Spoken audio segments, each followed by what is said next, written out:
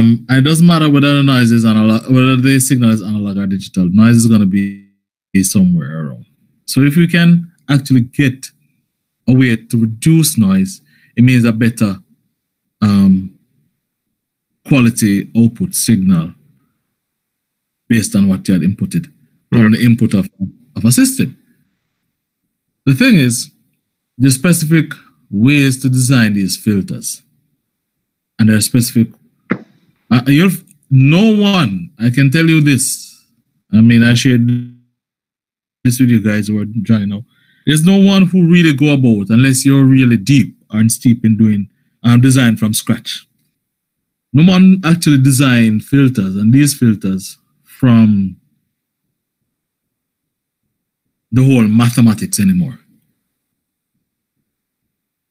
We have software that helps us to do that now.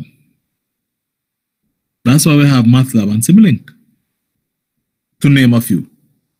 There's Raspberry Pi that has a C++ and also type of system that help us in terms of how to go about design. So really and truly, it's, it's, it's, it's really what you want and and sometimes doing some experiment uh, through plug and play.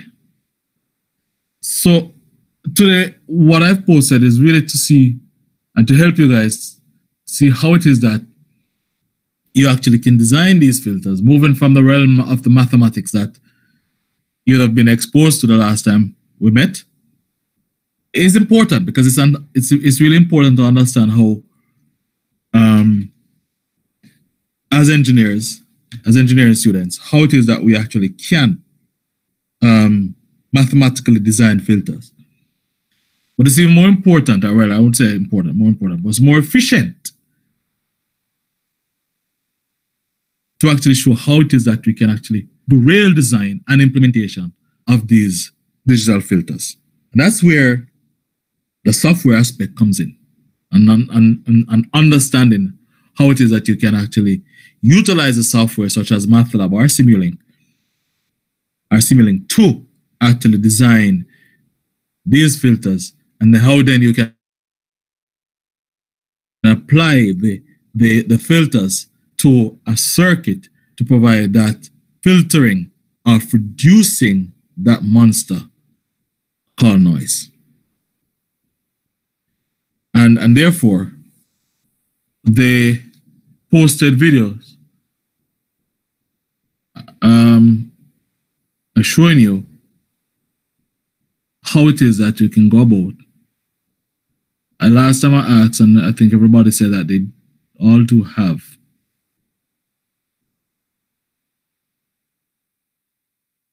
um, MATLAB or access to.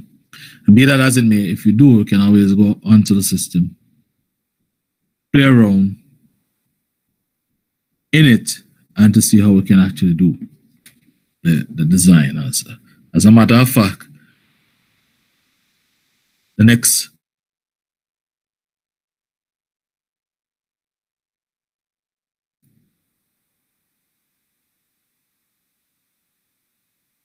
next filters, um, specific filters using MATLAB.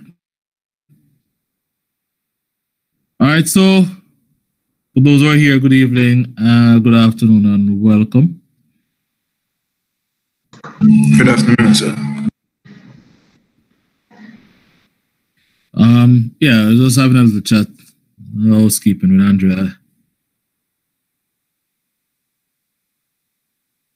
Just talking that, talking to him that there are two videos that are posted, which um, a deliberate did done in order to try and help you guys understand a little bit more about the two types of filter that we touch digital filter that we touch.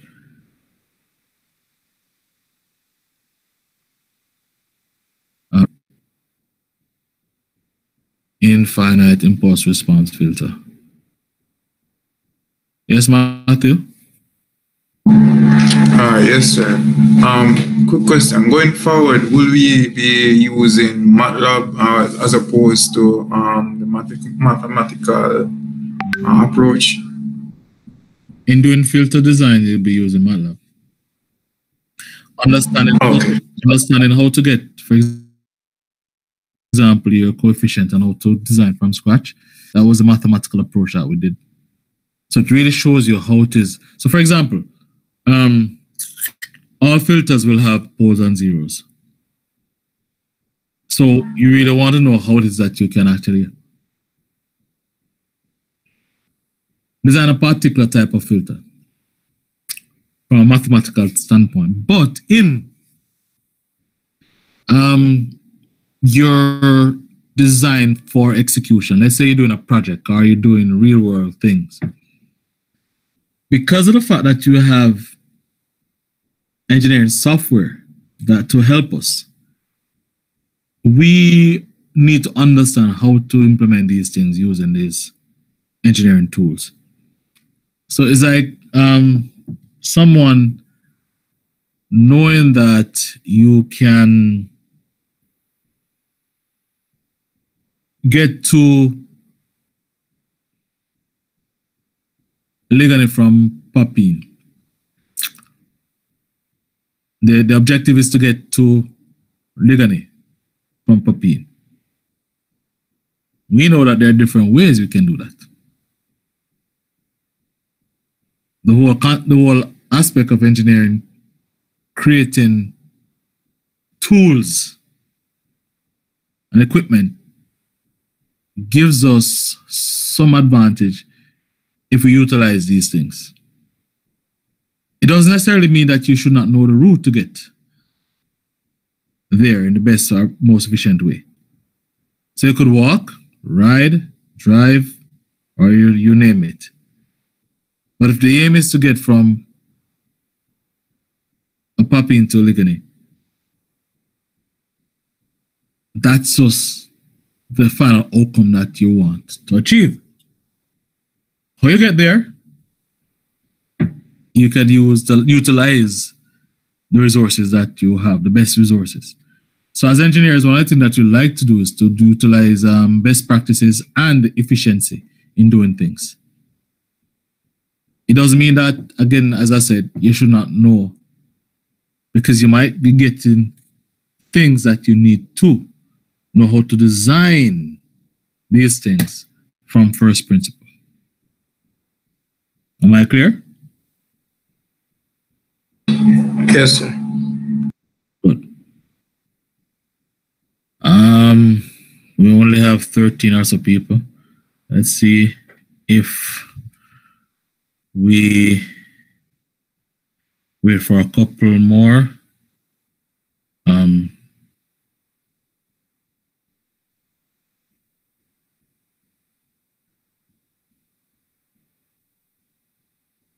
okay.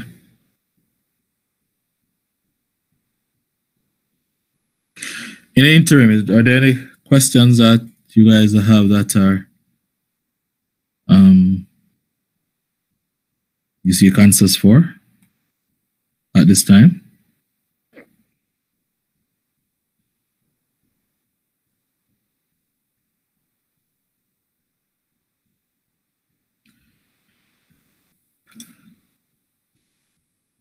I don't know. Somebody seemed to, I doesn't matter with this class. I never seem to have or a chat. I never seem to have hosting right. Somebody has the hosting privilege. Okay. I have no idea who it has, but I definitely Probably Chad, sir. do not. Nah, well, I don't feel. I don't feel so. Uh, what I wanted, why I asked is because I wanted for whoever has that right to actually um, present the video. Is that that? Or I can give you, I know the first one is just about 20 minutes. Can give you guys all the time to watch the video and then we jump right back. You give me a thumbs up or raise a hand when you are finished watching the video. I think that is probably a little bit more efficient since I'm not, sure who has the the hosting right.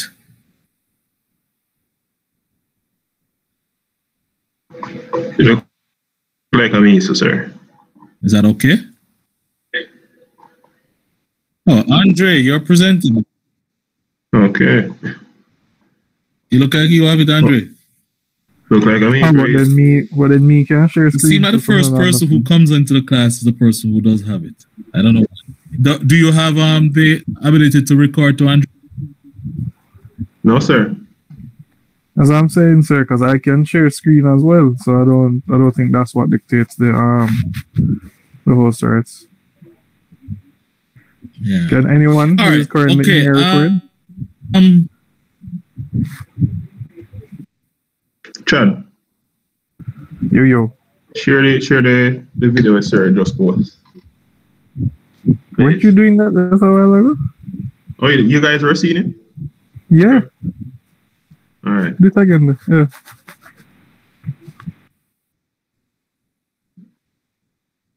Make sure to close this.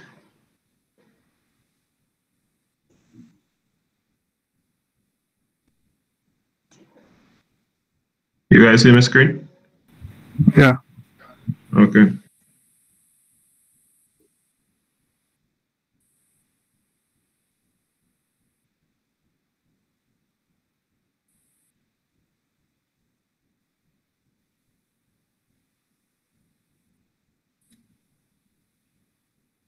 All right, everybody seen Andre's screen? Yes, sir. Yes, sir. Yes. Uh, all right, Andre, let's roll. And um, as I said, guys, if you have any questions, we can keep it to the end or make notes of it, or you can raise your hand while we watching it and I'll acknowledge. So go ahead, Andre. I'll mute my microphone just in order not to create a feedback.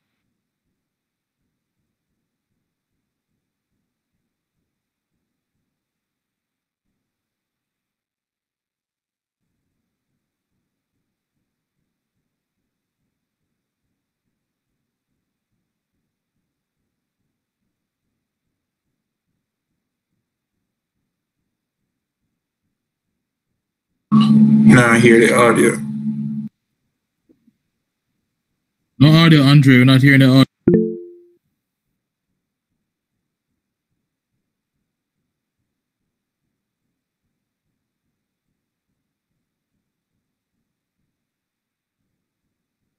So nobody is hearing it? No, sir, I'm not hear You don't hear it? audio as well. How come? Uh,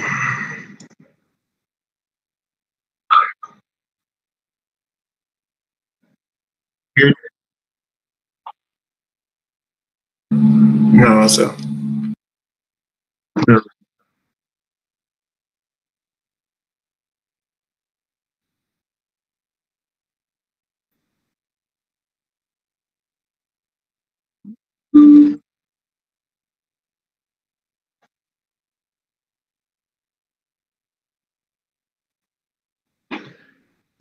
Still not hear it?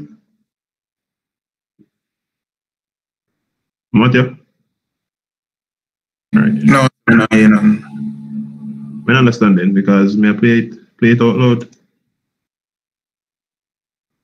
We'll see if we can find share audio. I think, I don't think um, the audio is being shared. I share entire screen? John. Stop sharing. Share. Windows, share entire screen. Share a window. Hmm?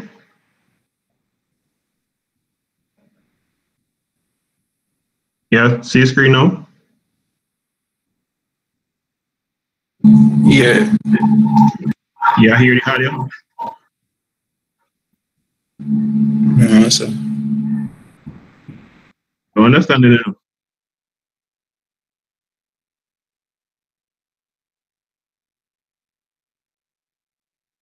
Mr. Top, you hearing the, the video?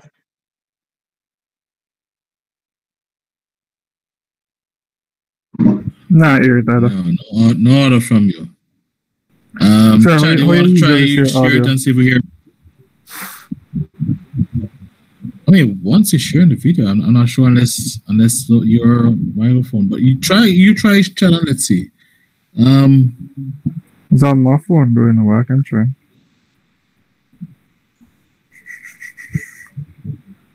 Hold on.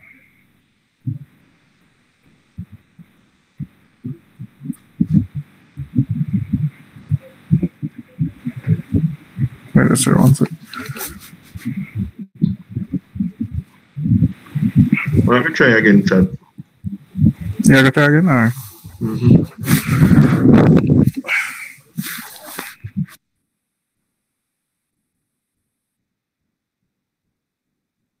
Hear it? No, I'm not here. Don't know where I'm going. Somebody else share it then. Not sure, I can't see. We're the tab instead of the screen.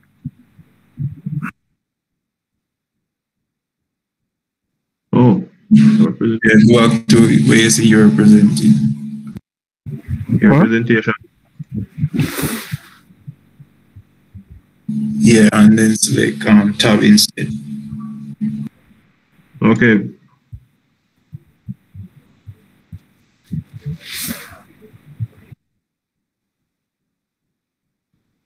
Motivation as to why we decided to do this video in the first Yeah, place. right here. Um, following which, Mark's going to do Huh? yeah, right here. No. All right, cool. a little bit of background on on screen on filter design and go go into the into the math involved with it, and then we're going to do a software demonstration. He's going to show us how to design a filter and then implement it in in in MATLAB and Simulink. And, we're, going to use the filter design tool for this. Um, and then finally, we're going to do some key takeaways and resources to help you guys do better at your competitions. So starting with the motivation, um, um, marine robotics student competitions involve a lot of signal processing, uh, especially especially um, uh, in the hydrophone task at RoboNation competitions like RoboBoat and Robo Sub and RobotX. Uh, but before getting into you know in, in, into time direction of arrival and, and, and all that kind of stuff, you you need to start small and you need to start with with, with filter design. By the way, we do have a a, a video on on on finding the direction of arrival of the signal um, in MATLAB in the robotics arena. So you might want to take a look at that. Um, so without further ado, I'm, I'm going to hand it over to, to Mark and have him and have him um, have him get into into MATLAB and, and do some some background and and take it away. So go for So- it, Mark. Before we get into the meat of this topic, I'm going to go over a little bit of background just to cover the basic mathematics behind filter design. So, when working with filters, we're working with linear time invariant systems, and we have an input signal that's passed through the LTI system that contains an impulse or transfer function, and then we receive an output signal. In time, the process that's being computed in the LTI system is called convolution, and this is denoted by the first equation. Yeah, convolution's not easy. As you can see, yeah, the com- the equation's quite complicated. Uh, this definitely isn't ideal. Um, so, uh, common practice in signal processing is to convert everything into the frequency domain. And what this does is this converts the convolution process into multiplication, which is much simpler. So uh, just to stop it at uh, how do you convert a signal from from the uh, from the time domain to the frequency domain?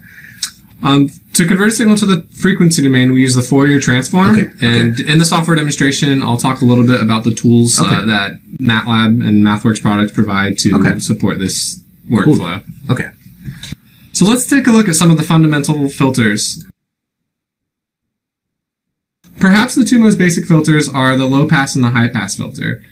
As implied by the name, the purpose of the low pass filter is to preserve low frequency components and to attenuate or remove high frequency noise or unwanted high frequency components. Conversely, the high pass filter preserves high frequency components and attenuates low frequency components. It's pretty simple.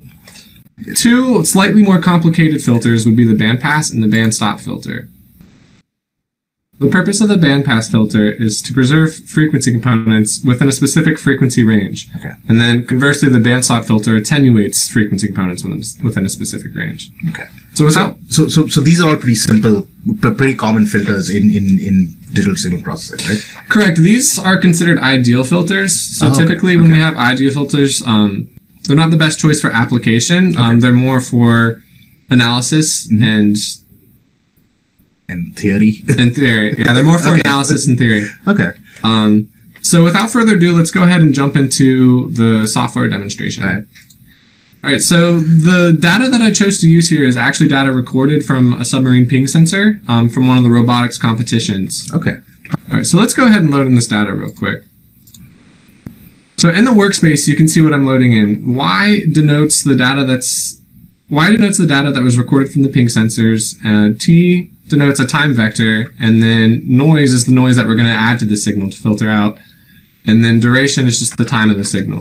Uh, and, and just to clarify, th- this noise is something that, that, that you're that you're adding in just for the purpose of the demonstration, right? Yeah, for the purpose of the demonstration, I had a pretty much I generated a random number generator that creates random noise. Okay, So there's the uncertainty involved, and yeah. we're going to talk. And in real worlds, you, you, it's hard to predict the noise that's going to happen. Yeah. So this is supposed to mimic a real Okay, world application. Okay. Cool.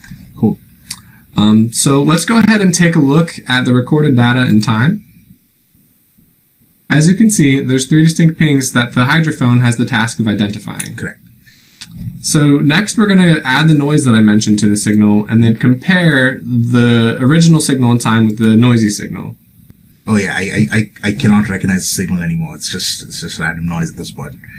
Yeah, so as you mentioned, the signal is almost indecipherable. There's a little bit of correlation, but even where they look slightly similar, um, there's an amplitude offset. Correct. So apart from converting convolution to multiplication, analyzing signals in the frequency domain is also beneficial because it can make plots like this a little more clear. So let's go ahead and convert the signal to the frequency domain as I mentioned before and see if we can get a better idea of how we can filter out some of this noise. Uh, Just before you do that, this this FFT function is is is that the Fourier fast transform that you were talking about that converts uh, uh you converts signals from time to frequency domain? Yeah, in MATLAB, FFT denotes the fast Fourier transform and will complete the task of converting the signals to the frequency domain for us. Okay. So we're going to go ahead and convert both the original signal and the noisy signal into the frequency domain. And then take a look at the two so we can compare. As you can see, analyzing the signal in the frequency domain gives us a really good idea of the significant frequency components from the original signal and where the noise is present. The pulses that we can see around 50 kilohertz and 125 kilohertz um, are the two main frequency components of the original signal, and then the bands of dense frequency components would uh, denote the noise. You may be wondering why there's two distinct bands where the noise are present. In robotics competitions, there are pretty common there are pretty common sources of noise. One obstacle that many competitors face is the noise generated by the motor of their own robots often distorts their information. Correct. Yeah. And this would be denoted by the low frequency noise that lies within the audible range of 22,000 kilohertz. Correct. And then the high frequency noise could be denoted by other robot so- sonar or other extraneous factors. Okay. All right, so let's uh, let's jump into designing a filter and open the filter designer tool. The filter designer tool allows you to design filters uh, via radio boxes, drop-down menus, and text boxes. And all of these lie within specific components um, like the, res- the response type, the design method, the filter order, frequency specifications, etc. Correct. And and it, ju- just going back to, to when we were talking about the background, you know, I can see it's got the low pass, high pass, band pass, and band stop. Uh, so so yeah, we, we, we- actually mentioned those those filters earlier in this presentation. Yeah, and in each one of these drop downs, there's slightly more complicated methods to implement the low ah, okay. pass, high pass. Oh, okay. Because as we mentioned, ideal filters are not useful in are not useful in application. So there's slightly more intelligent Okay. filters provided. Okay. Um, also, this tool implements several algorithms. As you can see in the filter order, uh, the minimum order box is checked. Um, this implements an algorithm that will generate a filter of the minimum order based on your specifications. This tool also provides another feature that allows us to observe several different response types for, for the filter. Some of these response types are the magnitude response, the phase response, group delay, phase delay, impulse response, step response, and the pole zeros response. There's several other options, and if you're interested in learning more about them, I'd recommend looking at the documentation for the filter designer tool. So now let's see if we can go ahead and design a filter to attenuate some of the noise. As I mentioned earlier, our signal is being sampled at 300 kilohertz. So let's go ahead and put that in. And then since we're using a low pass filter, we're going to try to preserve some of the low frequency noise and attenuate out some of the higher frequency noise. So taking a look at the plot of our noisy signal, we can see that there's noise somewhere above 125, that 125 kilohertz. So let's go ahead and set the passband to be up to 125 kilohertz. And then in real filter application, square waves are not practical because the filter needs some time to drop down to the stop band. So we're going to need to give the filter a little bit of space to reach the stop band. So let's give it around 2.5 kilohertz and set this at 127.5 kilohertz. Okay. And then we'll design our filter. Okay, so this this looks like a great filter. Um, now that we have the filter, you may be wondering how do we actually implement this in MATLAB? The filter designer tool provides the option for us to export the filter as an object to the workspace. To do this, you navigate to the File tab and then go down to Export. A dialog box will pop up giving you a few options. For simplicity, we're going to export this as an object. We can go ahead and keep the default name. Now, if you go to the MATLAB workspace, you can see we have an HD object. We have an HD filter object. The way to implement this filter is to use the filter function. Um, as I mentioned, we chose to export this as an object for simplicity because then, then the filter function only replies the filter object as an argument and then the signal we're filtering. Okay. And then for analysis, we're going to convert this filtered signal into the frequency domain. Let's compare the original signal in time to our filtered signal in time.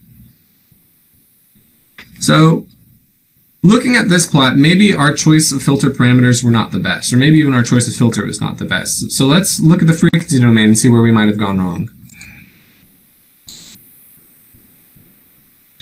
So as you can see, we did a good job of attenuating the high frequency components, um, but almost as expected, we still have that low frequency noise.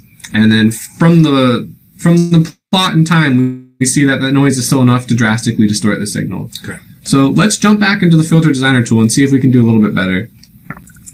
So a low pass a low pass filter might not have been the best option because there's low frequency noise that we cannot remove from the noisy signal. So let's see if we can try one of the slightly more complicated filters that we mentioned earlier. So let's take a look at the bandpass filter. Since we were able to attenuate the high frequency noise successfully using the low pass filter, we're going to use the same parameters for the pass band and the stop band on the higher edge of our filter. So let's pull up the frequency plot to see if we can identify parameters that will be successful in attenuating all of the noise. Looking at the noisy signal, we can see that there are significant frequency components from the original signal slightly below 50 kilohertz, and that the noise is within the audible range, so it's probably somewhere less than 22,000, 22 kilohertz. So let's go ahead and set the stop band to be a little over 22 kilohertz. And again, let's give the filter some time to rise to the pass band.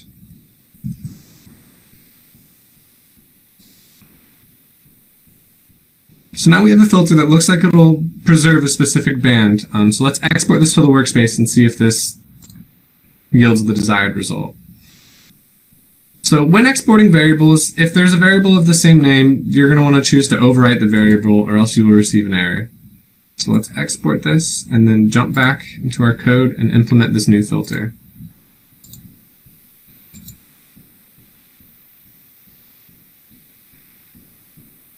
All right, so looking at the signal in time, it looks like we did a good job. So let's Yeah. go ahead and confirm that by again looking at the frequency domain. In the frequency domain, this looks great. We have all the same significant frequency components from the original signal. But perhaps we could even do a little bit better. So let's go ahead and go back into the filter designer tool and take a look at some of those other analysis options that I mentioned earlier to see if this filter is actually optimal for our workflow. So uh, b- before before we, we move on, what's what's the first place that you'd start when you want to when you want to sort of look at uh, uh, making these filters better? What is the what is the sort of first plot that you go to? So the pole zero plot's a very useful plot because uh, we'll go ahead and take a look at it I'll describe that a little more. So the pole zero plot, um, as mentioned in the name, provides the poles and zeros, and this gives an idea of what the filter, uh, this gives us an idea of what the order of the filter is. As you can see here, there's 304 poles. So that means that the order of filter is 300. That's not good. yeah, so that means the order of the filter is 304. Yeah. And for implementation and hardware, that, that would use an unnecessary amount of memory. So let's go ahead and see if we can change our filter a little bit to reduce the order. As you can see, the option for FIR is chosen in the design method. FIR filters are more be- are beneficial in the sense that they're theoretically simple. IIRs are slightly more complicated, slightly more complicated theoretically, but this provides a better result in terms of filter order. So let's choose the IIR and see if this improves our filter. Oh yeah. Okay. It's to 86. Yeah. Yeah, so now we see that the filter order is around 172, um, since we have 172 zeros. So this is much better, but this would still utilize a very large amount of memory. So let's see if we can choose another type of IR filter to improve our filter even more. For more information on these types of filter, I'd recommend taking a look at our, documentation. Um, I'm going to go ahead and choose the elliptic filter as somewhat of an educated guess, and then see what this does. So now we can see that the filter order is around the magnitude of 20, which is much, much better than the 304 we started with. Yeah. So, um, so b- b- before we move on, you, you you did mention hardware implementations. Is there a way that I could uh, that I could uh, uh, you know deploy this this filter onto a hardware directly from MATLAB and Simulink, or do I have to you know take these coefficients and then and then write code for it uh, standalone? Of course, yeah. So you mentioned MATLAB and Simulink. I'm going to go ahead and start with MATLAB. Um, Okay. Within the filter designer tool, if you go to the targets pane, Oh, okay, yeah, there's options to generate To code generate for code, several yeah. different hardware targets. Okay, Um, there's also, if we go back over to file, the option to generate MATLAB code, and correct. from there, code generation could be used to implement into filters. Okay, Um, but we can also export to a Simulink model. yeah, I'm, I'm, I'm interested to see that this the the the, the Simulink implementation of it because I, I know a lot of our, our viewers are actually using Simulink. So you want to go ahead and show us how to do that? Sure, of course. So I'm going to go ahead and choose the export to Simulink option and then click realize model. If no model is currently open, what this option will do is open a blank model with the filter block. Um, but I actually already have a model open that implements a similar workflow to the software demonstration we just covered. Okay. All right, so as you can see, a filter block was added to the to the model I already had open. So before we go, I'm gonna so I'm gonna go ahead and connect this block, but before we move further, I'll talk a little bit about what this model does.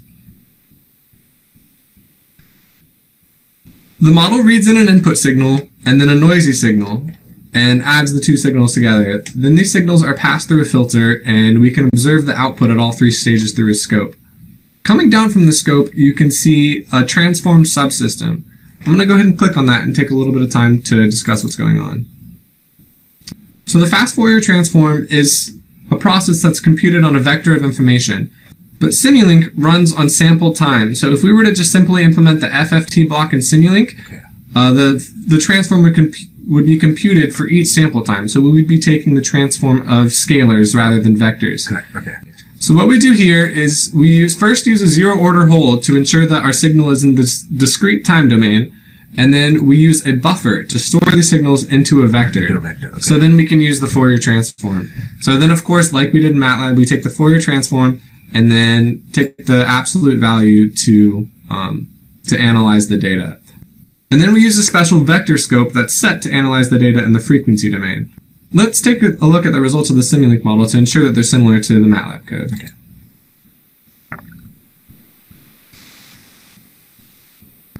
So first we'll take a look at the signal and time through the scope. So as you can see, it's clear that this is very similar to the signals that we had in MATLAB. So let's jump over to the the four the let's jump over to the signals in the frequency domain and ensure that that's also. So the vect since we have three different vector scopes, there's going to be three different vector plots. Um, the vector scope does not support multiple inputs, so we cannot stack plots like we did in the scope block. Okay. Um, but as you can see, again, the the frequency the signal in the frequency domain also pretty strongly correlates the signals from from MATLAB. Okay. Cool. If you would like to follow the same workflow without using the MATLAB interface, the Digital Signal Processing Toolbox also has a block used to generate digital filters. Okay. Um, to find this block, let's go ahead and go into the library. Okay. To find this block, navigate to the DSP System Toolbox, choose filtering, and then choose filter implementations, and there will be a digital filter design block. So let's go ahead and drag this into the model. To use the digital filter design block, uh, double click on the block and a graphical user interface identical to the one we used in MATLAB will be presented. Okay. In implementing this block, you do not have to worry about exporting to Simulink. When you click the design filter button, those filter parameters will automatically be uploaded into your Simulink model. Okay. As I mentioned earlier, there's also the option to generate code for hardware in Simulink. To learn more about this, uh, I'd advise taking a look at the documentation. All right, so now let's go ahead and jump back to the presentation to look at some key takeaways. Um, so the filter designer tool allows for an iterative design, and this is beneficial because in competitions, uh, the competitors likely won't know the parameters that they want to use their filter, so they're going to have to use a trial and error approach to really reach the best filter for their robot. Okay. Um, implementation for filter design is available on both MATLAB and Simulink, and hardware implementation is also available on both platforms. Okay. Well, thank you so much, Mark, for taking the time out to come and share this information with us. Um, uh, before we wrap up with this video, I'm, I'm just going to go ahead and point you guys to some resources like we do always. Um, again, we've, we've, we've got a lot of video, we've got a lot of video content available and a lot more to come. Uh, please write to us and tell us what you think about it. And you can get in touch with us either on our, uh, either at the robotics arena at mathworks.com or on our Facebook group. And then, um, also don't forget about the software offer. We do offer free MATLAB and Simulink with, the, with around 70 odd products, um, uh, to student competition teams. So please take advantage of that offer and, and, and you can, you can get access to tools like the, like the filter design tool and, and, and a bunch of other tools. Um, and finally, uh, we're, also filling up the robotic section of the Racing Lounge blog. So uh, don't forget to take a look at that as well. Um, and uh, thank you so much for watching another episode of the Robotics Arena, and we hope to see you again.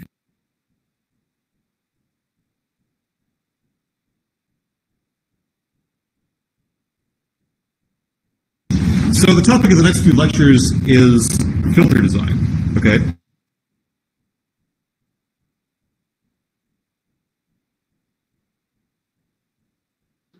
Sir, I'm to present the next one. Um, not a, not yet. Hold hold on just a sec. Um, so what we just saw was a, a very basic but important, well, in my view, way of showing you how to implement filters, low pass, high pass filters by using the different libraries in MATLAB. Also showed you how you can actually manipulate the filter based on your desired outcome to give you um, better design as well as to improve on what exists. The question is, what did you garner or grasp from this presentation? Anybody wants to share?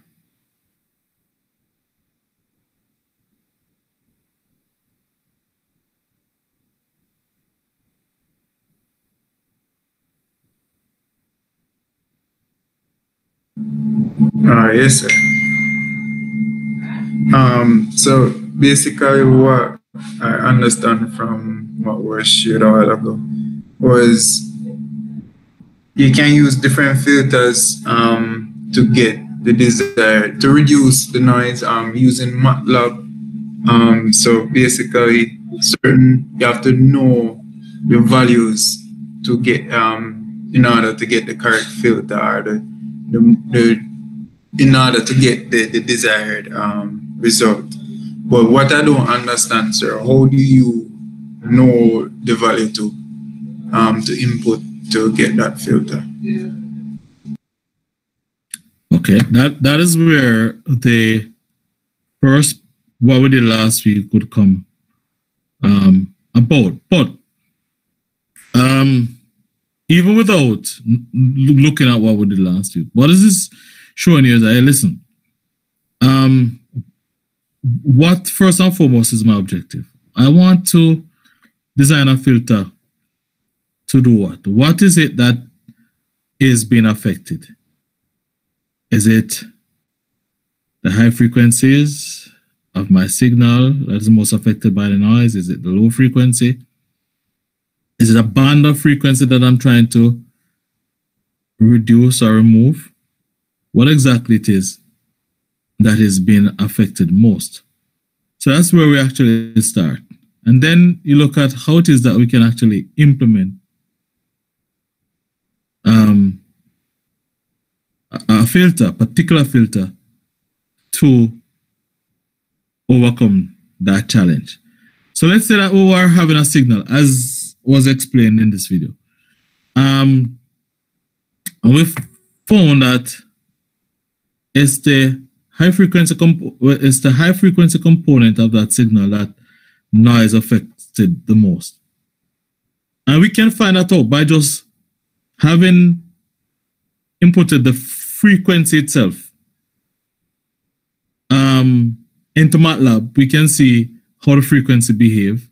We can generate a particular noise, uh, well, noise spectrum.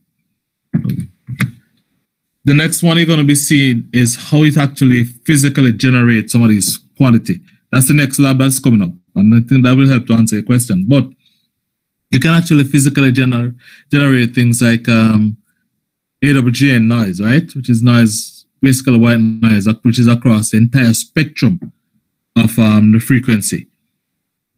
And then you see how is the signal being most affected?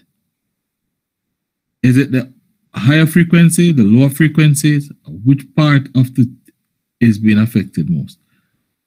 And then you can then create a filter and each filter come in different types. You have butterworth, you have elliptical, you have Chebyshev's, you have all different types of filters that also provide their own unique um, characteristics. And these are some things that we'll quickly look at as well in terms of how each one of these provide um, this additional info. But that's kind of what you can do, or else you'll be given information to design a particular filter to do certain things. You're given that information, design a particular filter to do certain things. And that's how the parameters would come in in terms of what do I design. So run the next one. Well, if there's another question, next one will also provide some form of clarification where that is concerned. All right. Oy, oy, oy. Any other question?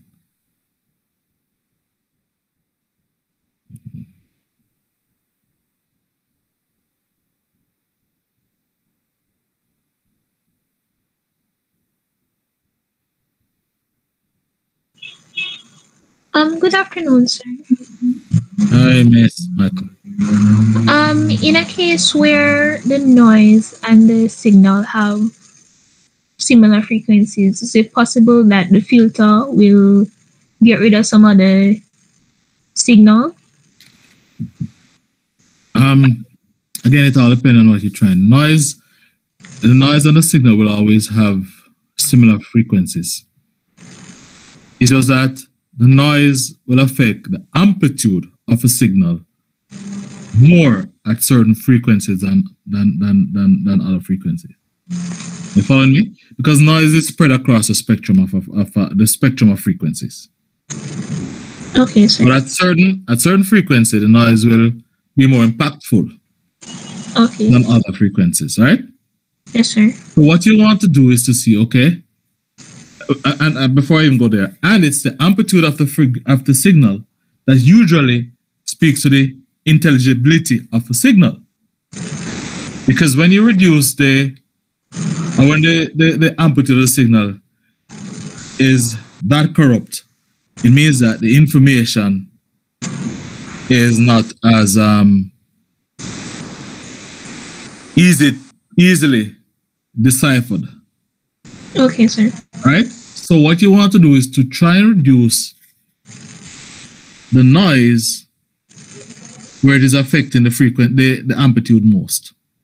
Okay, sir. It could be at low frequency, it could be at high frequency, it could be at mid-band frequency. That's why I look across the spectrum of the frequency of the signal, where it is that noise is affecting it the most. That's how you then apply particular filter, low pass, band pass, band stop, high pass filter, based on what the challenge is. So it's not a, it's not about the frequency it's it's more about the where where it is that noise is affecting the amplitude of the signal most. All right.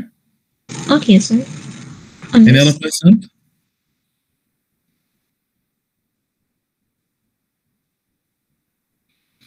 If not, let's look at the other um, presentation. Such a little bit shorter.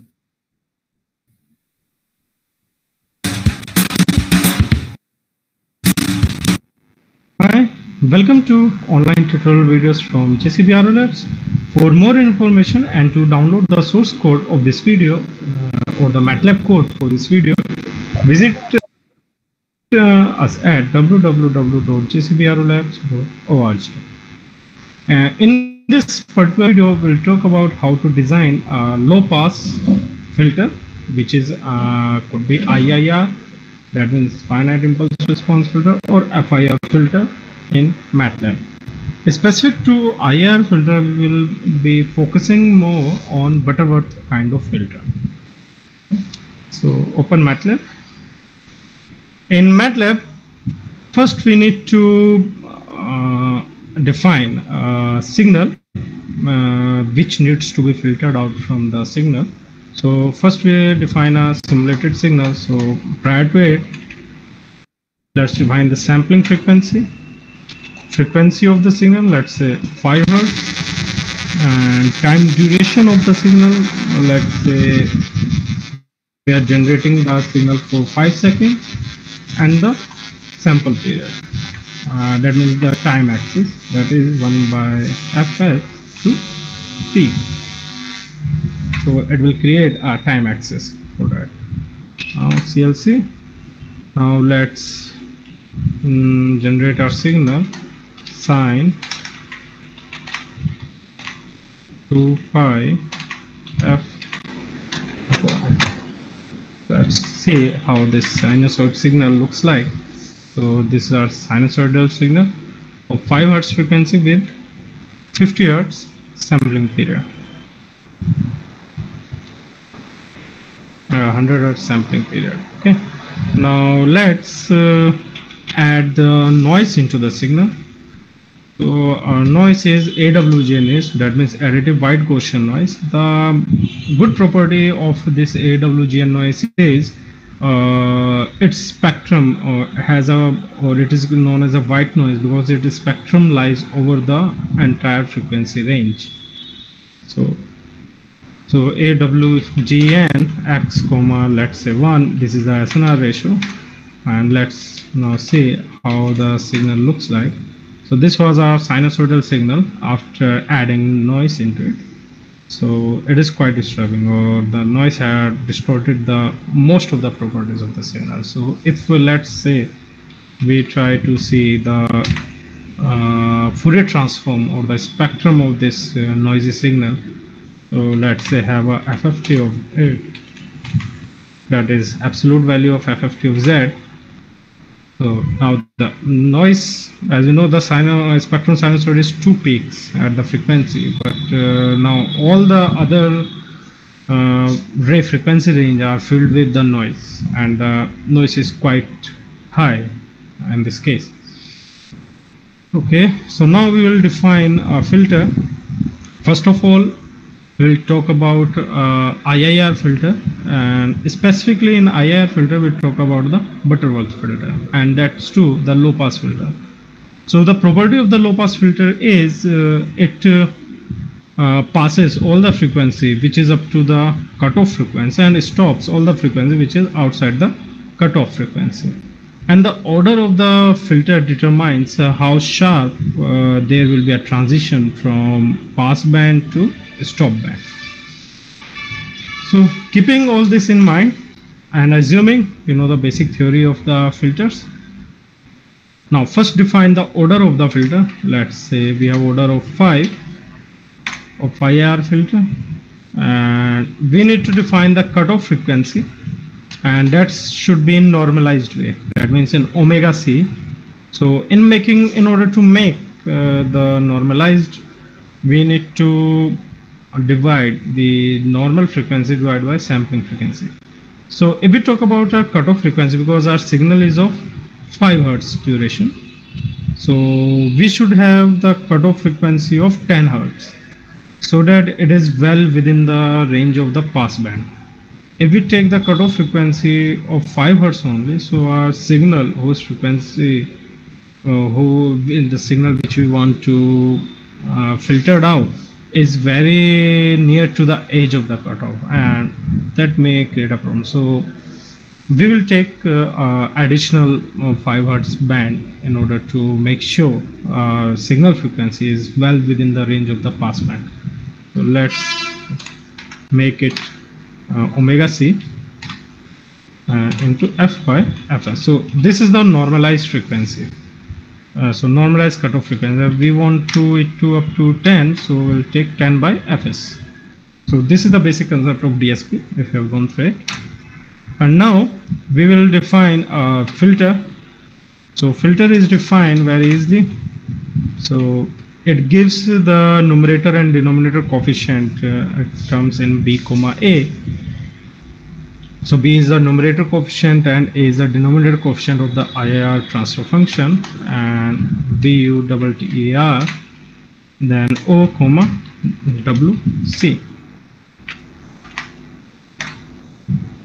So this b and a coefficients have been generated. So this is the b coefficient of order 5 numerator and these are the denominator coefficient. So if we are interested in looking the uh, frequency response of the filter or whether in order to specify whether our design criteria is being met or not. So let's say the frequency response of the filter so it will go like this freqz b comma a. So this is the frequency response of our digital system. Yeah. So it is uh, our frequency was of 10 hertz and so our cutoff is near about 0.6 into pi radian per sample.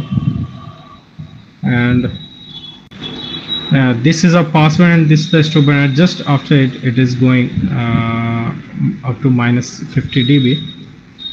So there's another tool as well in order to uh, display the frequency response of the filter and that is FV tool and simple B comma A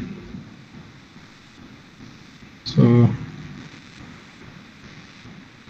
yeah. It also gives the same frequency response. So this is near about 0.5 uh, was a normalized frequency of the signal.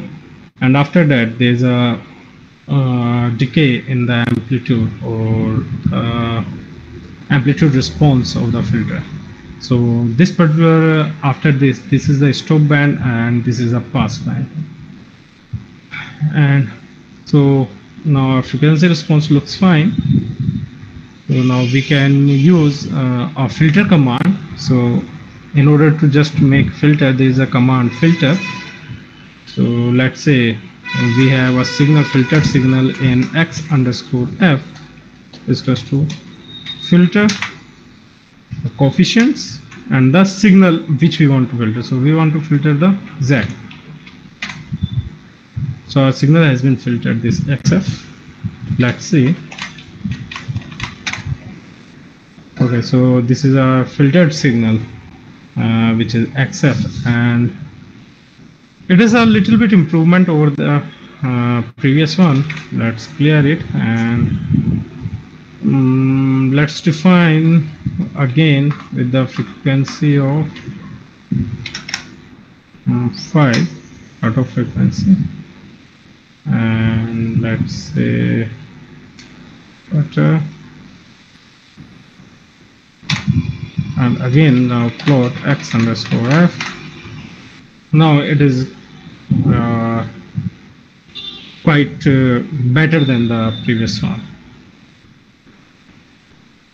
Uh, but still the uh, amplitude was distorted because the so, uh, noise was in a high amplitude.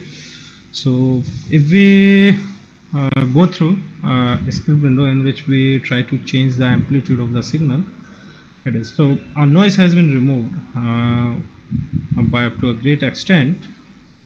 Similarly, this was the example of the IR filter, and that is a Butterworth filter. Similarly, we can also design a FIR filter.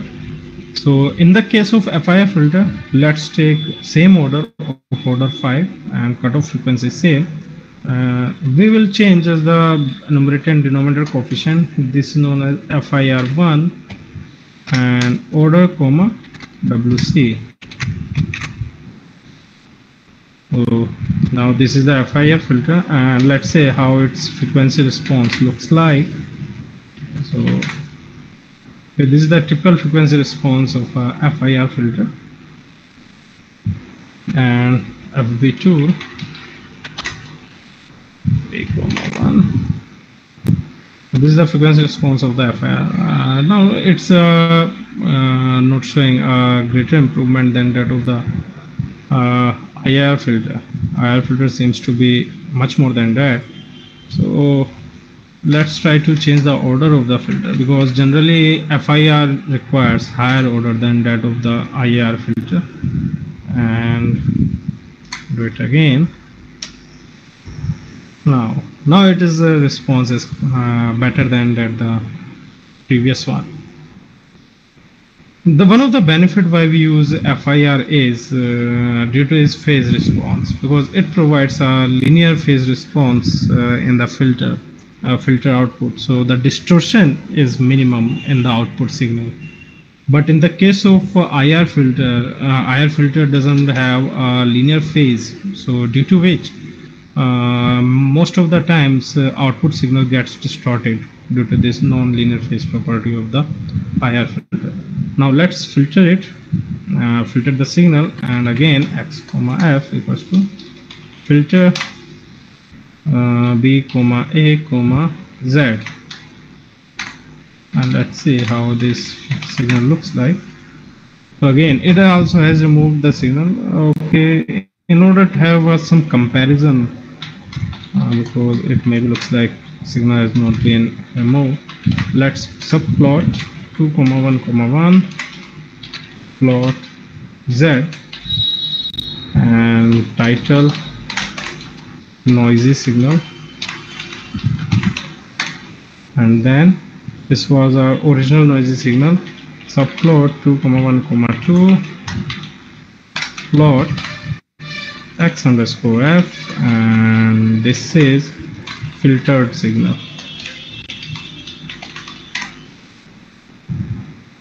And now have a look. Uh, this was our noisy signal and this is our filtered signal. So it is quite clear like uh, our, most of the noise has been removed from the signal. The same can be uh, verified uh, by having let's say uh, let's close all okay. and let's say we plot the FFT of the filtered signal. Yeah. So most of the noise has been removed but one of the factor the lower noise was because it has removed the noise from this clearly but from uh, because uh, the order specify the transition period transition period means if we have a specified uh, uh, frequency that means the cutoff frequency about 5 hertz that means at lower order the roll-off factor will not be that much higher. So due to which the near uh, uh, exact signal frequency which are near to the cutoff frequency will not be filtered out effectively. So there are two options either uh, we increase the order but uh, obviously there are certain drawbacks. uh, with the increasing the order. And uh, uh, if we can keep uh, track of those limitations then we can use the higher order uh, filter. So we have created this uh, script and this will be available to download on our website that is jcbrolabs.org so in this we will try to uh, visualize various results with uh, different orders and their effect on the signal frequency.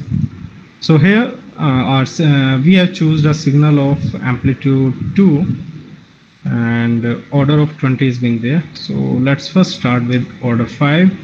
So it will be easy and we have uh, used both the filters in the same script that is IR, uh, IR Butterworth filter and FIR filter. Let's run it. Okay, so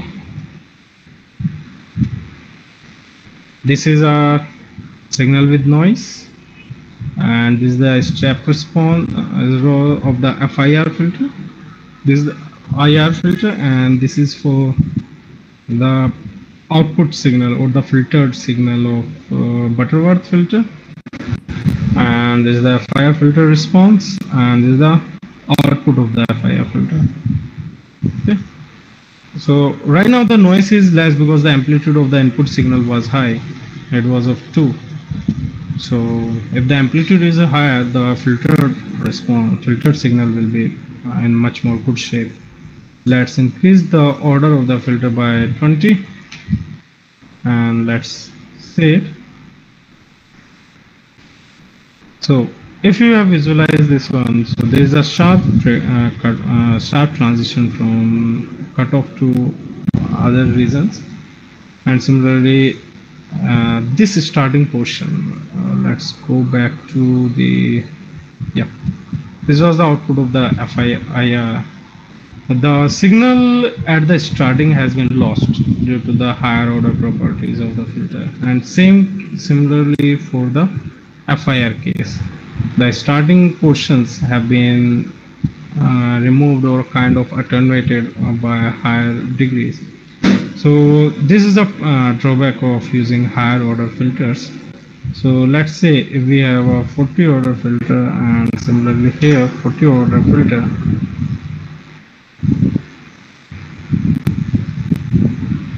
uh,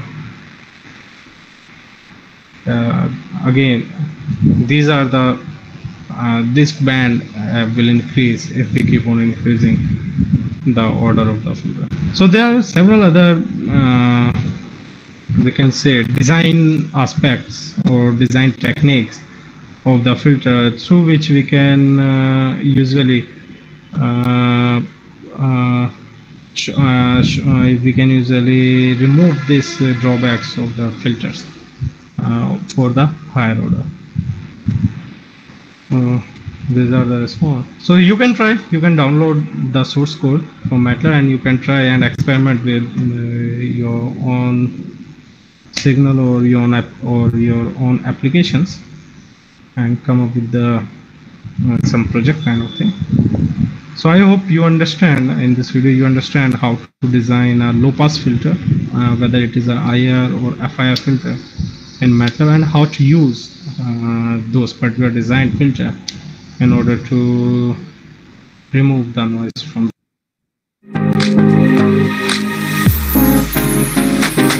we celebrate International Women's Day. So that's it for this video. Thank you.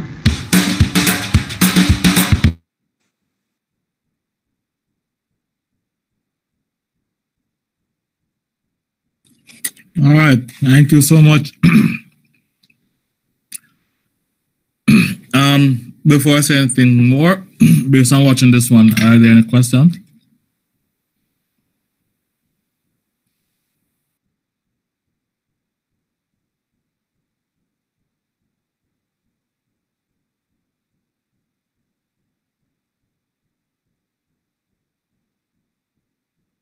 No, sir.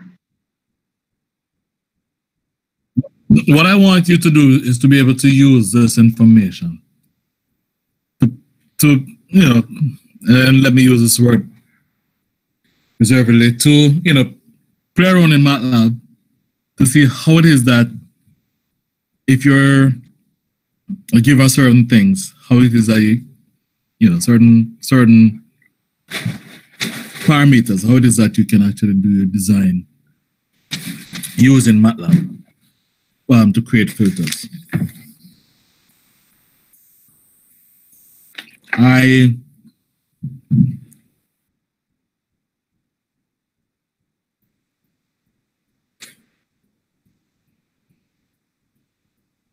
I'm going to share something with you again that explains, as I mentioned before, there are different types of uh, categories of uh, filters. You'd have heard presenters uh, you know, spoke about things like Butterworth filter, elliptic filter. I mentioned their Chebyshev, Chebyshev filter. So what are all these filters and why it is that they are, and how is it that they are different? So again, I'm going to share something with you guys, but in order to explain these things, which will help in terms of the process. But you can think about it in the meantime in terms of if there were any questions, if there were any unfamiliar process that took place in MATLAB just now that you will not be able to replicate in terms of designing the filters, in terms of designing um, filters if you're asked to do specific filters. And I'm also going to add one particular um, specific example. So given this filter, uh, given this these parameters, how would you design this filter? All right, so think about the questions if, if you don't have one right now while I look and to post the information I mentioned just now, okay?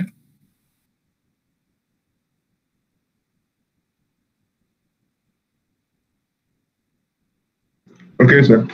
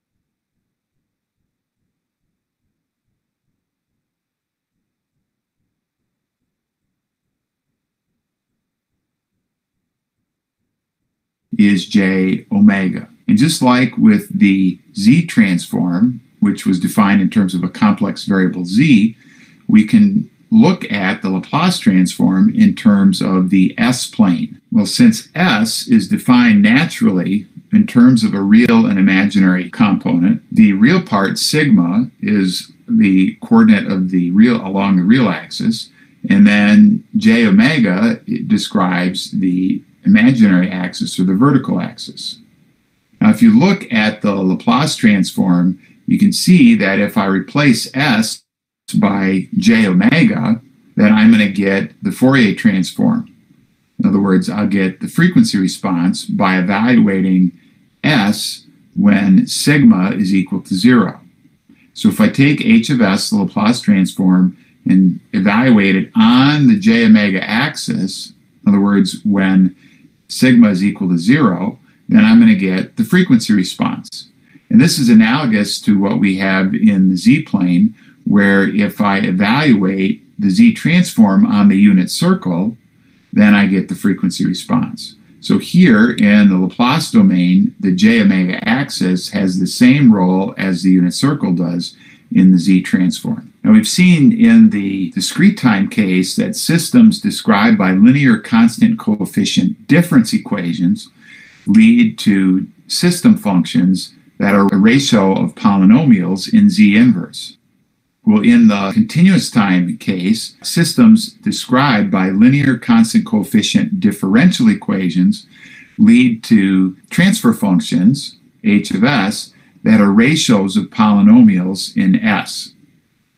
And we'll write that as a sum from k equals 0 to m of coefficients bk times s raised to the kth power and then in the denominator, we'll have a sum from k equals 0 to n of ak s raised to the kth power.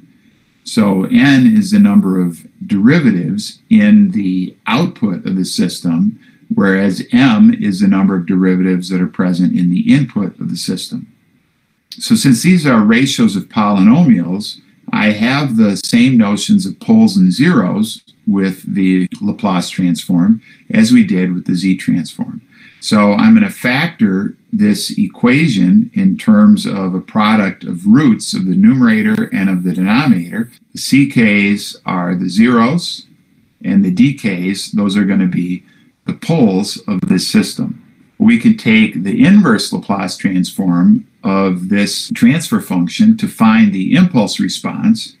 And it turns out that this proceeds in a manner similar to the, what we've done with the Z transform, in that we're going to use a partial fraction expansion to write this as a sum of terms involving each pole in the denominator of those terms.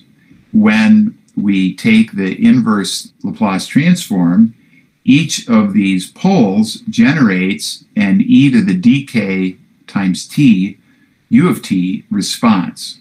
And I've written the inverse Laplace transform here, assuming that none of the poles are repeated. So this is very insightful because it says that continuous time systems are described in terms of exponential signals, e to the dk t, u of t. And we've also assumed here that we're looking for a causal continuous time system.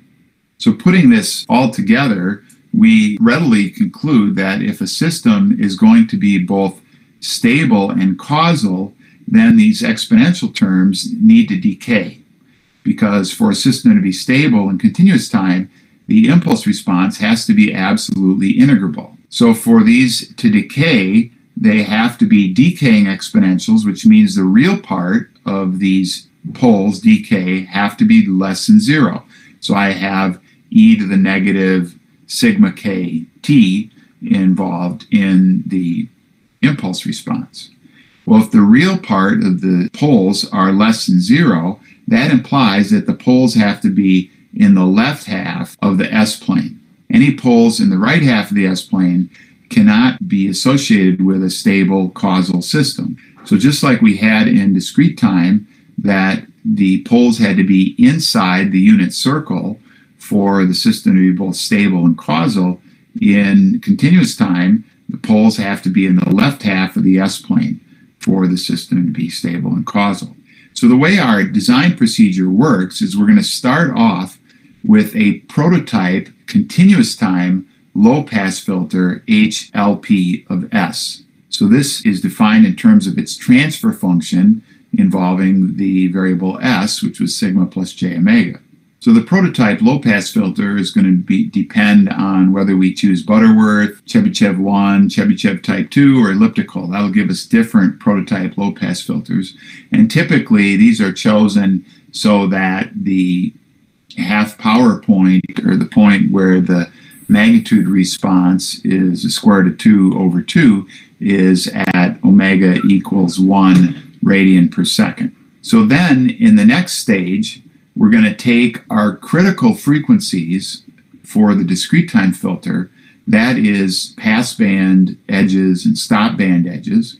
We're going to take those and we're going to convert those to critical frequencies for a continuous time filter. And this is a stage known as pre warping because there's a nonlinear relationship here between locations of critical frequencies in discrete time and their corresponding locations in continuous time. That's because of the way we're ultimately going to convert our continuous time filter to a discrete time filter, which will be step four of this procedure. So once I have these critical frequencies, then I'm going to use something called a frequency transformation, which is replacing the variable s by some function of another variable s tilde.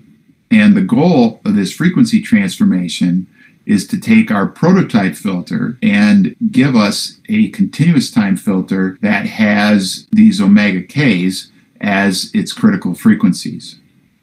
So the transformation is actually fairly straightforward, and we'll talk about frequency transformations in another lecture. The idea is that I take my low pass prototype filter and everywhere that I have S in the transfer function, I replace that with a function f of S tilde. And that gives me a new transfer function h of S tilde, or correspondingly a new frequency response h of omega tilde, which is dependent on the prototype filter frequency response with omega replaced by f of omega tilde. So at this point, if we've done everything properly, the critical frequencies of this transformed analog filter are in the right locations. And next, we're going to convert from continuous time to discrete time. Most commonly, this is done using the bilinear transform. And the bilinear transform is a relationship between the Laplace variable s and the z transform variable z. If we define s tilde to be equal to 2 times 1 minus z inverse over 1 plus z inverse, that this transformation has some very desirable properties, which we'll look at in detail in another lecture. So I obtain finally my discrete time filter h of z by taking my frequency transformed analog filter h of s tilde, and everywhere I see s tilde, I substitute 2 times 1 minus z inverse divided by 1 plus z inverse. So if h of s tilde is a, ratio of polynomials in s tilde, this transformation will result in an h of z that's a ratio of polynomials in z inverse, which is exactly the kind of filter that we can implement with the linear constant coefficient difference equation. And then our final step in this process is to verify that our discrete time filter h of z satisfies the specifications that we desired to meet originally. Because one can make errors along the way here, or in certain cases, if the design is specified too tightly, it turns out that numerical issues can cause you to end up with an H of Z that don't match the original specifications. So this is an overview of how filter design takes place. And if you use MATLAB, this is the procedure that's employed by MATLAB's filter design functions like Butter and Cheb1 and so on. They follow this process to design the filter. To do this, though, if you're going to use a software package, you don't need to understand the details of these steps. You can apply it, and as long as you check the end result that you've got a filter which satisfies your specs, then you're good to go.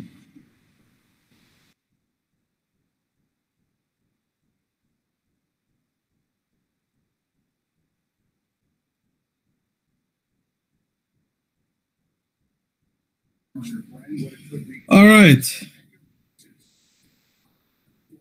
Anybody wants to give me a reminder again?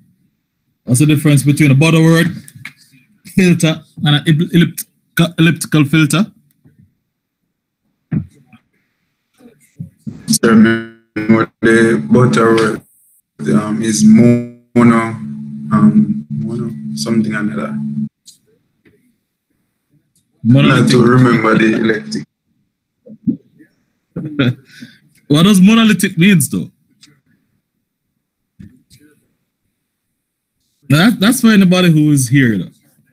Because that's, that's how I want you guys to be able to build up and, and then get your confidence. It's not about, for me, it's not about, DSP is not about the maths that, that, that, that, get you confused. It's a process. So we talk about the two things, the monolithic as compared to Ripple. What do I mean by monolithic?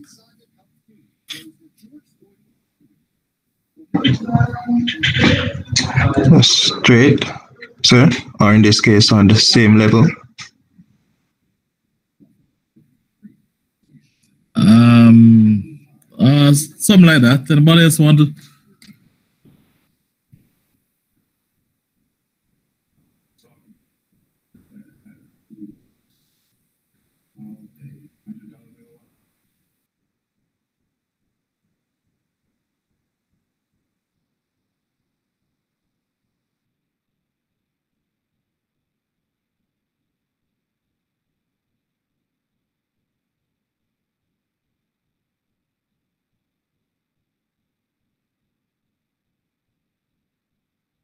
All right, monolithic just means that the thing has a smooth decay. It has a smooth decay and not not not up and down and changing in, in terms of a ripple, right? Um, as I said, a ripple meaning that the thing is pretty much on the same level, but it is fluctuating, it's changing. It doesn't stay at one um one level on the same level. All right, so now we know what these are. What's the difference in terms of monolithic? Um, sorry, in terms of Butterworth. Uh, again, just uh, just to see if you you you in understand what was explained. The difference, the monolith, the Butterworth, and for example, the um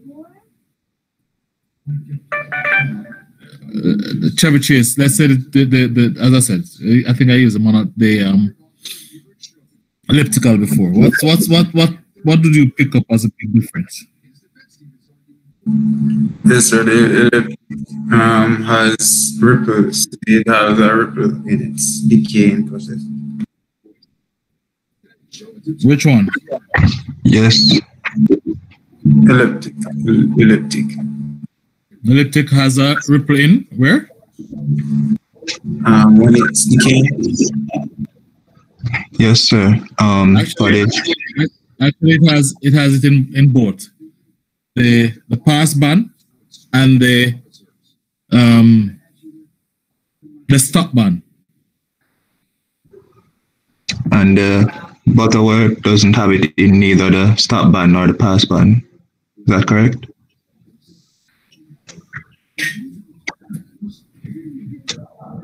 Mr. Thorpe? Is that correct? I, I'm I'm listening to your colleagues, you know. Because remember, you know, that's what I was that's what I wanted to do. I wanted to watch a video, not just to watch it pass that. So I see who who actually watched it. Because remember, I said that I was gonna present something that explain these things because going forward, you're gonna be uh, using these, you're gonna be using them, you're gonna be having an understanding as to why we're using these. These um Butterworth or elliptical or Chebyshev in the design process. So who who wants to tell us again?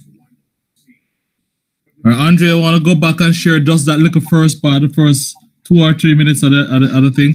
Make I think, the, I think the, the um the Butterworth monolithic and in both pass and stop bands. Ah. Now, why is the elliptical uh, more efficient both both these, of course, we're we're looking at both low pass filters. It could be a high pass was the same. But why is it the the elliptical is more efficient um, as compared to the others?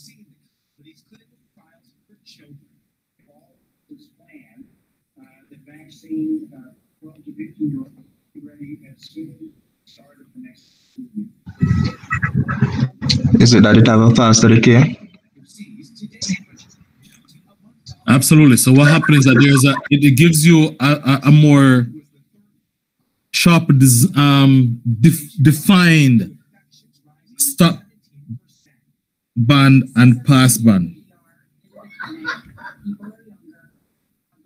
So you do not have it gradually um, tapering off, but you basically have it, even though it has ripples, it basically tapers off almost like instantaneously if you're thinking about time. So it, there's a clear demarcation between the the the the stop band and the pass band for the elliptical um, filter. Am I clear? Yes. All right. So we can actually go back to it whenever you wish. It's posted. All right. And one last video, which this is the one I want you to pay a lot of attention to. Because as I said before, I'm going to show you one that actually have some form of, it goes through the process of helping you in MATLAB with the various toolbox and library to how to design filters, all right? Specific filters. So one last one coming up. I post it and then ask Andre to share it, all right? To play it. Yes, sir.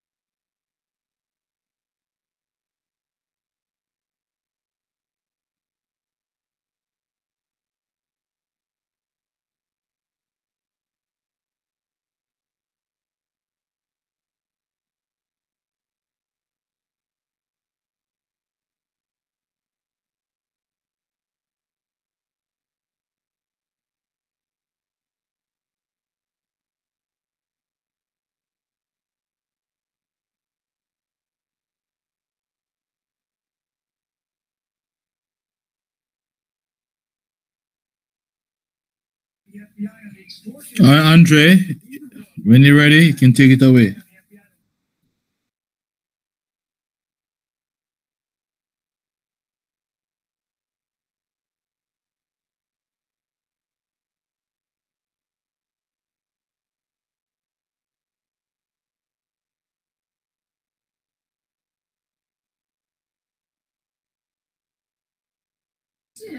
is a presidential road. Andre, are you still? This inter-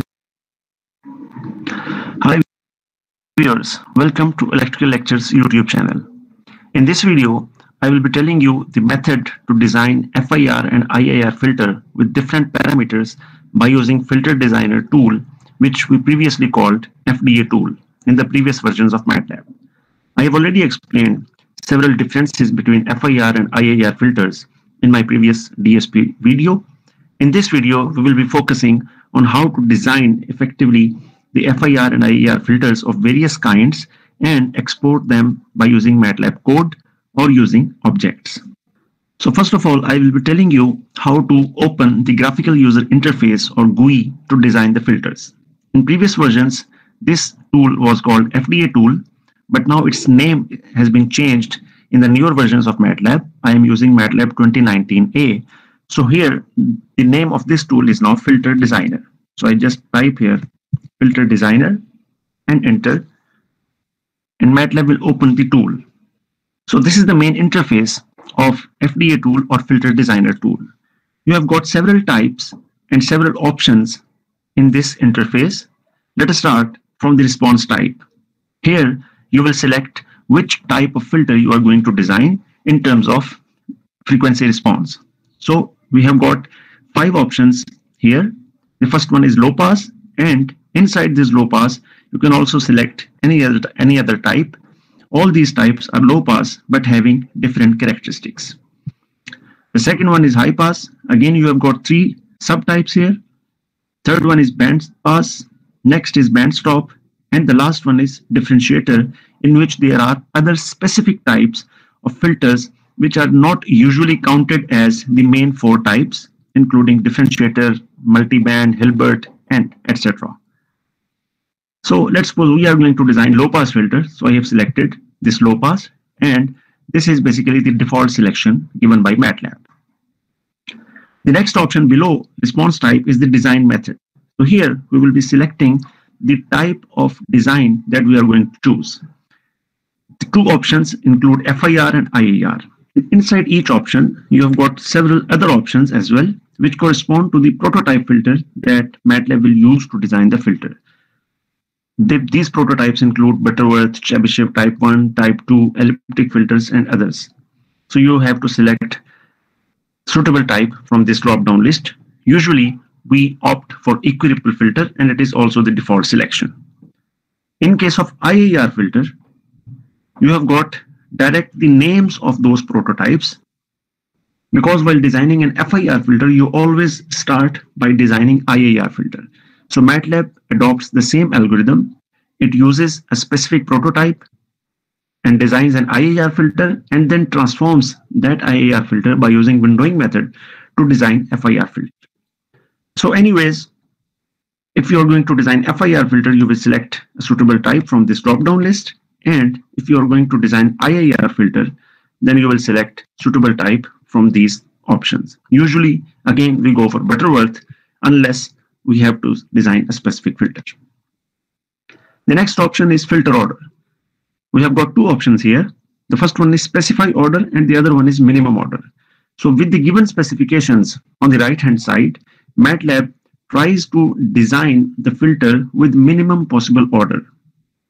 And with the first option, if you want to specify the order yourself, then you have to select this option and supply a number over here. Like by default, 10 is written over here. You can write any whole number here, which will specify the order. By using minimum order, MATLAB will restrict the order of the filter to minimum possible. This is usually a better option if you are going to design a filter that needs to be implemented in some hardware platform then definitely you need to have minimum order and you have to select this option. The next option is density factor. 20 is written over here and usually this factor works well for the design of the filter. Now on the right hand side, you have got the main specifications area. They include two types. The first one is frequency specifications and the other one is magnitude specifications. So first, let us go through frequency specifications. In the first drop-down list, you have got units option. If you have your specifications in discrete frequency or in radians, then you need to select normalized 0 to 1 from this option. You see, when I have selected this, the sampling frequency option is already disabled, which means the specifications are already in the discrete frequency. So you do not need to specify the frequency. This is usually the easiest option if you don't have any idea regarding the sampling frequency. But if you have got the sampling frequency, then you need to select the other options. So if you are given the specifications in discrete frequency, then you have to supply the passband and stopband frequency between 0 to 1. So these numbers need to be replaced and I will write here, for example, 0.2 is my passband frequency and 0.3 is my stop band frequency. Next one is magnitude specification. There are two options in the units category. You can select dBs or you can select linear. Usually we prefer dBs and inside these options you have got passband attenuation denoted by A pass and stop band attenuation which is A stop. The default values are 1 and 80 for both the passband and stopband respectively, but you can modify these values as per your specifications. Now, once all these values are selected, now you have to click on this option, which is design filter. So you see, this is the magnitude response of our design filter. And as you can see, 0.2 pi radians per sample because the value was you have specified was 0.2 and it was normalized with pi. So it is actually 0.2 pi. So 0.2 pi is the pass band and 0.3 pi is the stop band and MATLAB has designed the filter having order of 50. You see, this is the minimum order over which MATLAB is able to satisfy these specifications of the prescribed filter. Now let us change the frequency specifications to other options. Let's say I select kilohertz from here when I select kilohertz, you see FS is now enabled. So now we need to write the value of sampling frequency in this box. And remember, you need to specify the sampling frequency by keeping one important point in mind, and that is the sampling frequency must be same as the sampling frequency of the data which you are going to filter by using this design filter. So let's say in our case, it is 48,000. Let me change it to, let's say, 10. So it is 10 kilohertz. And now the passband and stop band frequency also in kilohertz. There is one important point that you need to consider over here that both the passband and stop band frequencies must satisfy Nyquist criteria of the sampling frequency. So if the sampling frequency is 10 kilohertz, then maximum frequency uh, that we can write here is 5 kilohertz as per Nyquist criteria. So for example, I write 2 kilohertz here and 3 kilohertz here. So it will satisfy the Nyquist criteria. Now I click again the design filter and you see the x-axis is now changed to kilohertz and 2 kilohertz is the passband frequency, 3 kilohertz is the stop band frequency. And you see the order is now changed. It is now 25. So it is the minimum order which MATLAB uh, could find to design this filter. Similarly, you go for other options as well. If you are going to design an IIR filter, simply go over here, design method, you select IIR filter, and Butterworth is automatically selected. And now this option is now changed. Here, now it is written match exactly. So you have two options. Either you can match stop band or pass band exactly. In the other one, you will experience ripples because it is Butterworth filter. Now with the same specifications, I will click design filter and you see this is the design filter by using Butterworth prototype.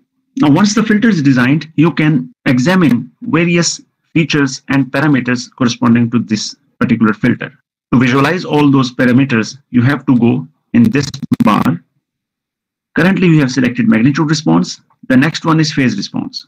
If you select this phase response, phase response of the filter is here is another object named h2.2 and it was normalized with pi. So it is actually 0.2 pi. So 0.2 pi is the passband and 0.3 pi is the stop band and MATLAB has designed the filter having order of 50. You see, this is the minimum order over which MATLAB is able to satisfy these specifications of the prescribed filter. Now let us change the frequency specifications to other options. Let's say I select kilohertz from here. When I select kilohertz, you see FS is now enabled. So now we need to write the value of sampling frequency in this box. And remember, you need to specify the sampling frequency by keeping one important point in mind, and that is the sampling frequency must be same as the sampling frequency of the data which you are going to filter by using this design filter. So let's say in our case, it is 48,000. Let me change it to, let's say, 10. So it is 10 kilohertz. And now the passband and stopband frequency also in kilohertz. There is one important point that you need to consider over here that both the passband and stopband frequencies must satisfy Nyquist criteria of the sampling frequency. So if the sampling frequency is 10 kilohertz, then maximum frequency uh, that we can write here is 5 kilohertz as per Nyquist criteria. So for example, I write 2 kilohertz here and 3 kilohertz here. So it will satisfy the Nyquist criteria. Now I click again the design filter and you see the x-axis is now changed to kilohertz and 2 kilohertz is the passband frequency 3 kilohertz is the stopband frequency. And you see the order is now changed. It is now 25. So it is the minimum order which MATLAB uh, could find to design this filter. Similarly, you go for other options as well. If you are going to design an IIR filter, simply go over here, design method, you select IIR filter, and Butterworth is automatically selected. And now this option is now changed. Here, now it is written match exactly. So you have two options. Either you can match stop band or pass band exactly. In the other one, you will experience ripples because it is Butterworth filter. Now with the same specifications, I will click design filter and you see this is the design filter by using Butterworth prototype. Now once the filter is designed, you can examine various features and parameters corresponding to this particular filter. To visualize all those parameters, you have to go in this bar.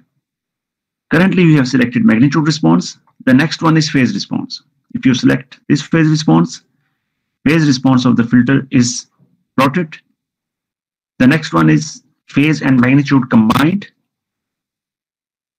So you see both are combined on the same plot. The next one is the group delay response. So this is the group delay of this particular filter. The next one is phase delay.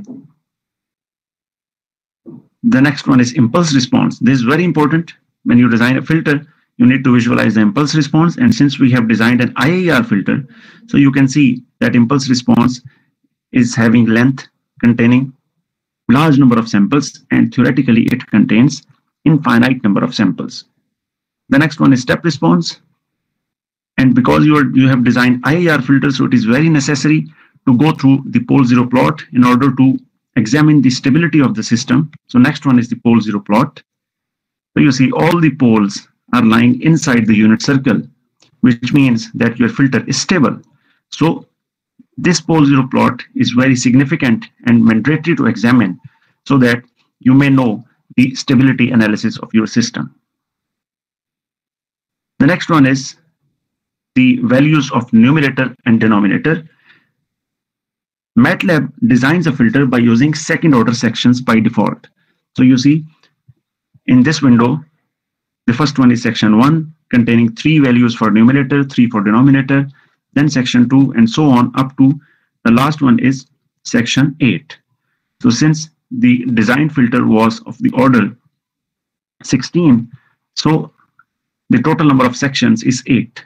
So it has designed by using eight second order sections cascaded with each other.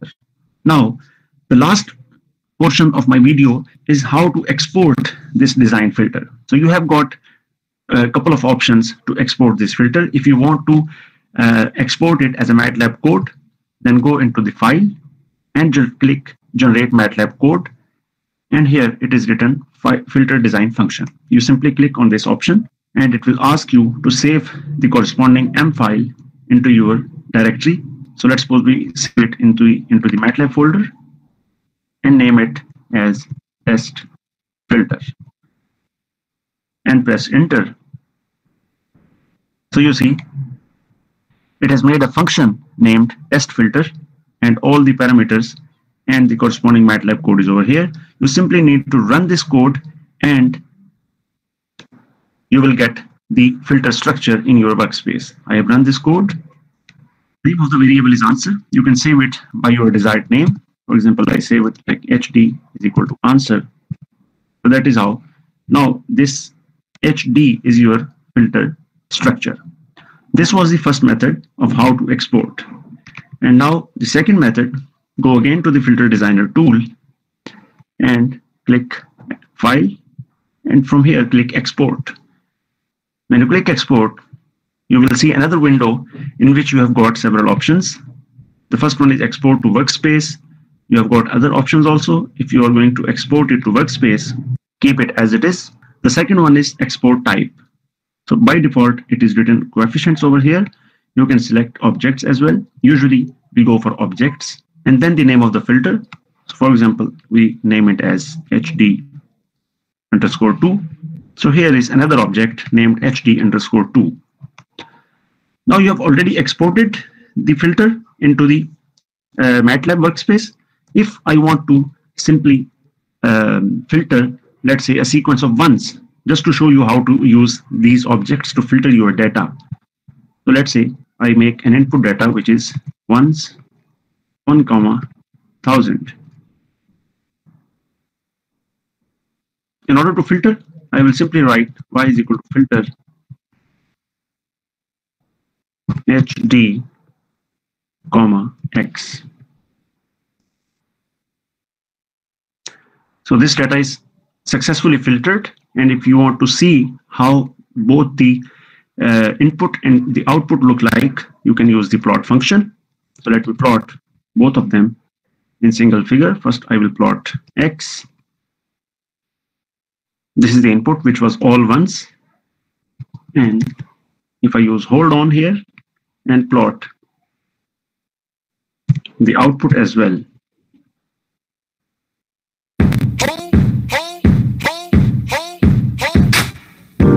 Equities, also known as stocks, is a financial. So you see this is the output. So this blue one is the input, which is all ones, and the red one is the output. So this is how you can design filters in MATLAB by using filter designer tool and how to export them, how to visualize them, and how to use them to filter your data. Andre? Thank you very much for watching this video. Don't forget to subscribe our channel, Electrical Lectures. Yes, sir. All right, we can we can stop it there. And my my question, as always, after watching the video, what's the